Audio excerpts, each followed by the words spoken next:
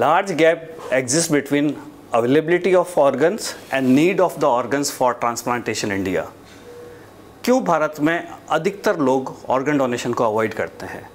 वैसे तो इसके बहुत सारे कारण हो सकते हैं but main challenge is social and cultural belief in this lack of awareness is the main reason ज़्यादातर लोगों को ये पता ही नहीं है कब और कौन कौन से ऑर्गन्स किस किस सिचुएशन में डोनेट किए जा सकते हैं। आमतौर पर सोसाइटी में लोग ऑर्गन डोनेशन को डिस्कशन करना पसंद नहीं करते हैं। अंधविश्वास और रिलीजियस बिलीफ भी ऑर्गन डोनेशन के अगेंस्ट हो सकते हैं। इसके अलावा लैक ऑफ़ इंफ्रास्ट्रक्चर भी कारण है।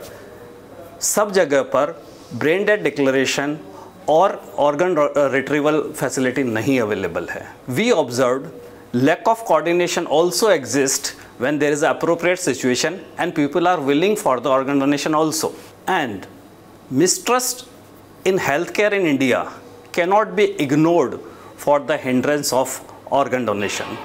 Donated organ misuse तो नहीं होगा डोनेटेड ऑर्गन का फेयर डिस्ट्रीब्यूशन होगा ये सारे कंसर्न लोगों के रहते हैं सो लास्टली आई वुड से हम सब लोगों को मिल कर ये चैलेंजेस और बैरियर को ओवरकम करना है और एक कंपैशनेट एल्ट्रोस्टिक सोसाइटी का निर्माण करना है, जो कि ऑर्गन डोनेशन को प्रमोट करे भारत में।